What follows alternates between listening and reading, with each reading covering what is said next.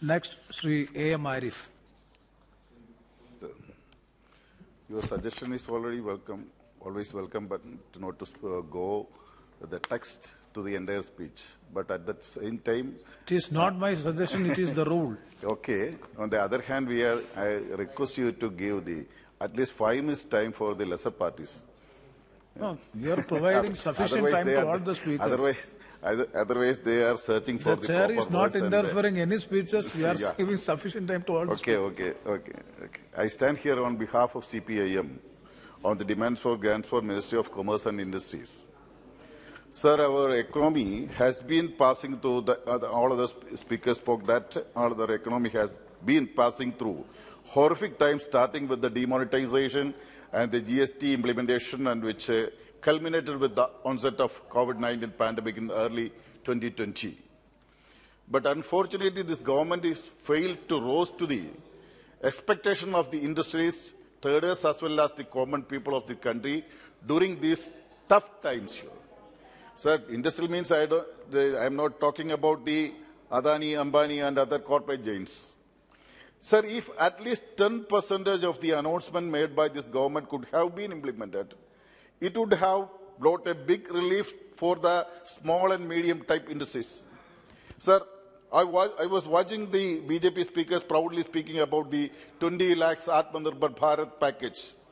What is the reality, sir? Has it ever bothered to review whether our economy benefited from this package? I request you to verify present situation of the MSME sector. The, this, the Karti Chidambaram already revealed that uh, the situation of the MSME sector. Uh, How many uh, industries, uh, industries were getting suicide and other things. The, rea- the reality is lakhs of industries were wiped, wiped away from the field. This is one of the major reason of our highest unemployment ever since. Sir, some BJP speakers pride about the exports achieved by the government of India. So, sir, I have to bring some bitter experience of exports related to seafood, coir, and cashew. As we all know, the seafood exporting industry is major contributor to the country's forex reserve and plays a major role in generating employment for women in almost all coastal states, including Kerala.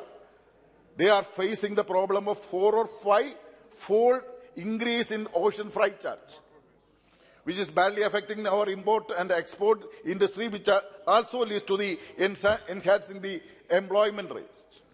Sir, even then, has this government took any proactive measures to help the seafood exporting industry during COVID-19? Sir, this government boasts of announcing emergency credit line guarantee scheme, ECLGS, for 26 industries. But the seafood exporting industry was excluded from those 26 industries without any reason. Sir, instead of helping the exporters, what this government was done was to penalize them to multiple ways. Not only that banks were hesitant to renew the credit limits, but also charged with the rates of annual processing fee and service charges. Also, this government nothing to overcome the severe shortage of containers, due to which the shipment have become irregular on a permanent basis and many of the orders got cancelled. Sir, I am not elaborating more. In this plight of almost all industries in the economy, ironically, though that this government has no time to help the industrials and the traders, the Honorable Minister has time to criticize the industrial leaders by questioning their integrity and sincerity to the nations. The Honorable Commerce Minister's speech in the meeting of Co- Co- uh, Confederation of Indian Industry was widely criticized. I'm not going more, much more than. Is this way to promote the industry to trade in the country? Is the way to achieve two trillion dollar exports by 2027? Surely no, sir. Sir, coming to the coir industry, the lifeline of the people of my parliament constituency, Alappuzha, things are no different. So due to the lockdown imposed during the COVID-19 spread, factories were closed and orders for crores of rupees were to be cancelled. Even then, no assistance was provided for coir industry by this government, and even now it is struggling to gain orders. The shortage of containers and the fri- ocean freight charges also badly affected the coir industry also. Sir, then any respite for the cashew nut industry?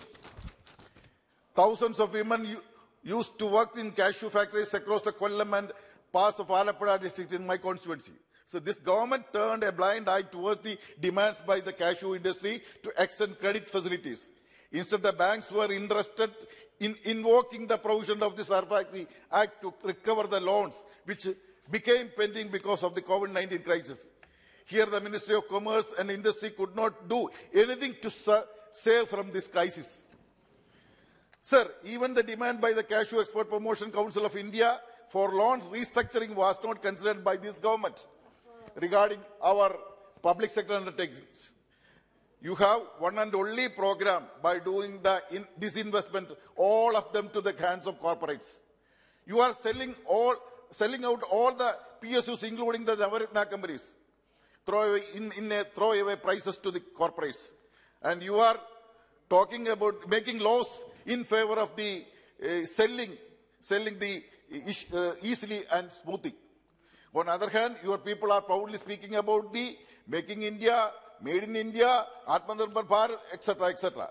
So, so I, sir, I am not elaborating more, elaborating more in each and every sector of industry in, and trade. Not only that the government has failed to instill the confidence, but also demoralized with its anti-people policies. Sir, I request the Honorable Minister to patiently hear the problems of the indus- industrialists and the laborers, those who are dedicated to the, the growth of each industry and took steps to grant their genuine demands for their survival.